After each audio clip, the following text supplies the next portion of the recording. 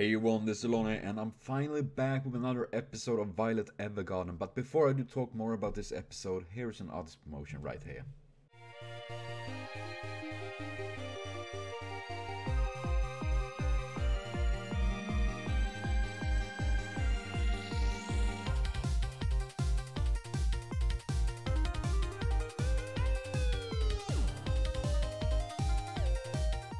Please be sure to check out the artist. Links in the description box will find links to the site as well to this video and this episode of Violet Evergarden. And I mean, I must say that I find this show incredible sweet and they done so well with how the emotions and the animation and the music and all that. Even if I do state, as I said in the reaction, that I mean, Princess Charlotte is 14 and he's 24. Obviously, I mean, in today's era, we would be like, no, no, no, no. But considering this is based on a different era and in a fantasy world where they obviously this is a, firstly a political marriage, though obviously I find it very sweet that she take the guy that she really loves and he respond the feelings even if she's still a kid and all that in my eyes but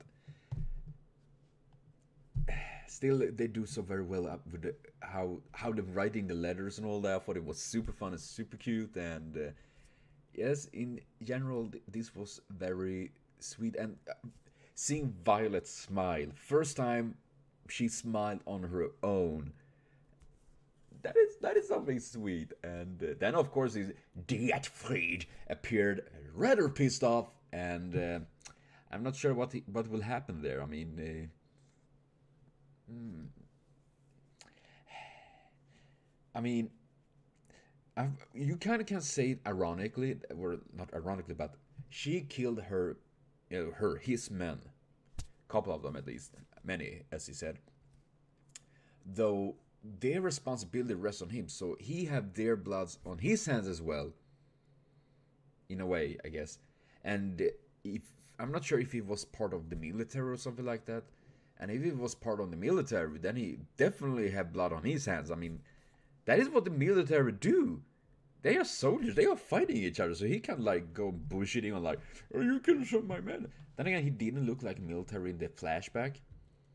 Then again, I don't know why she was on the ship to begin with, but I guess we will get a bit more answers on that very soon. I really want to see more about that. Gosh. And seeing that, I mean, I'm kind of amazing that she recognized the writing to Cattleya and all that. Because her name was Cattleya, right? Now I don't even, I'm not even sure anymore.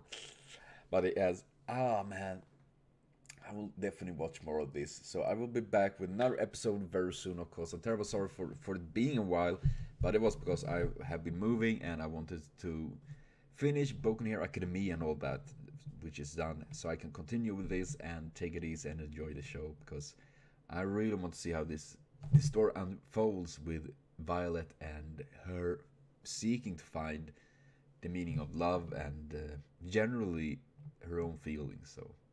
But well I will be back with another episode very soon of course so thank you for watching. Remember to comment share subscribe and like for more. I'm back soon again with another episode and see you later on. But most of all though have a continuous super great day